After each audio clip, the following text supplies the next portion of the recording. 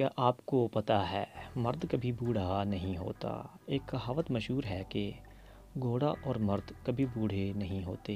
अगर आपको किसी माहिर जिनसियात के क्लिनिक जाने का इतफ़ाक़ हुआ हो तो वहाँ आपने जली हरूफ में ये लिखा हुआ ज़रूर देखा होगा कि मर्द कभी बूढ़ा नहीं होता।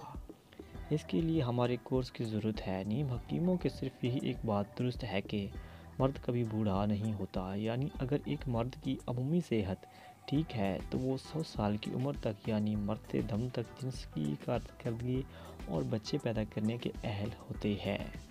हाइट ताहम, इसके लिए आपको किसी कोर्स की ज़रूरत नहीं। यहाँ भी नीम हकीमों की सिर्फ़ आधी बात दुरुस्त है।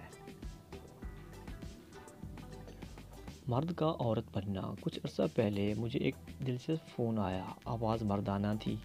फ़ोन करने वाले ने मुझे बताया कि वो लड़का था, मगर इसके अंदर औरत बनने की शदीद ख्वाहिश थी।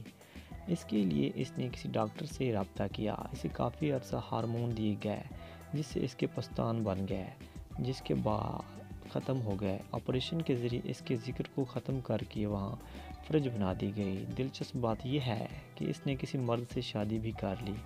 इस मर्द को इसकी हकीकत का इलम नहीं। ऐसे लोगों में औलाद नहीं होती, मगर बाज़ मर्द ऐसे होते हैं जिनके जिनसी अज़ा औरतों वाले होते हैं और साथ ही छोटा मोटा ज़िक्र भी होता है। इस तरह के मर्द लड़की बनने के बाद बच्चे पैदा कर सकते हैं।